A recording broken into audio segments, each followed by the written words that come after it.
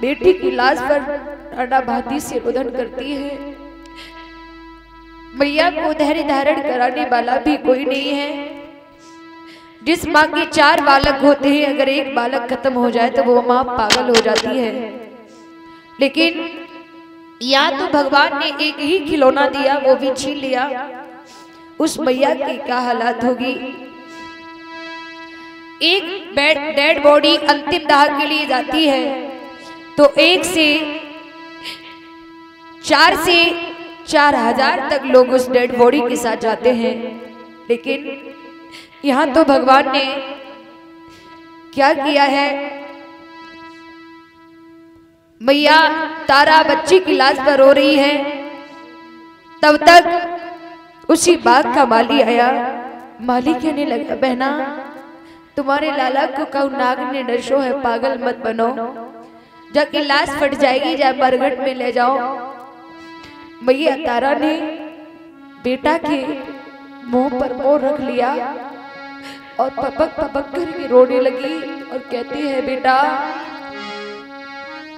कि बेटा, देख बोल दे कि लाला, नेक बोल दे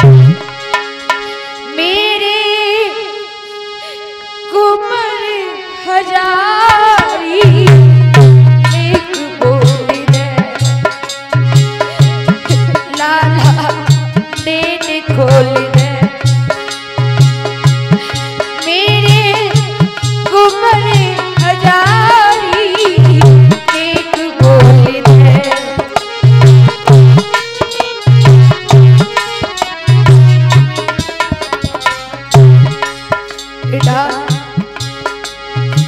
नौ दस मास गर्भ मेरा कष्ट सहु अति भारी है।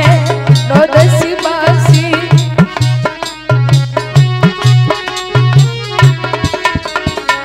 नौ दस मास गर्भ मेरा कष्ट सहु अति भारी है। नौ दस मास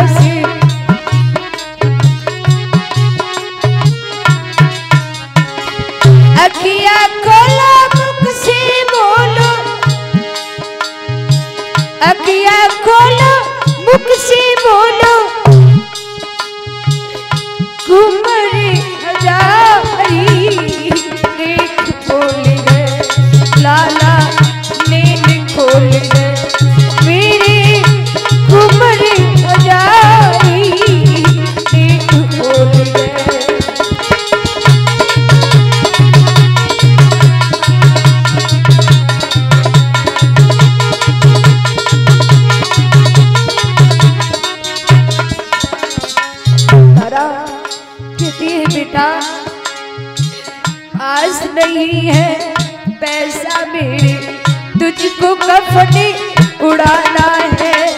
आज नहीं है। बेटा, मैं तुझे कफन कहाँ से लाऊं?